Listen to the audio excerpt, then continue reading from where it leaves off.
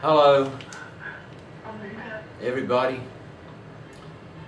Here I am, back reporting on the eye. Oh, last night was again was just total madness. Could hardly sleep.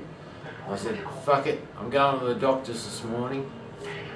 I goes to the doctor, to the eye doctor.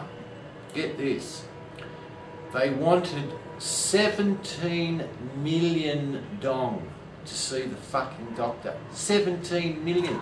That's over a thousand dollars US to see the fucking eye doctor.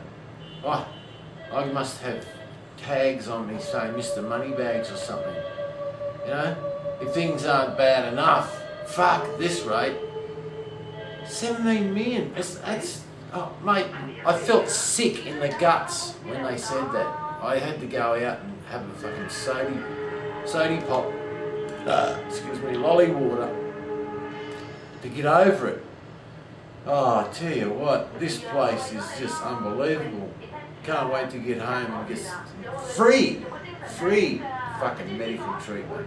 Anyway, that's that's that's me morning bleed.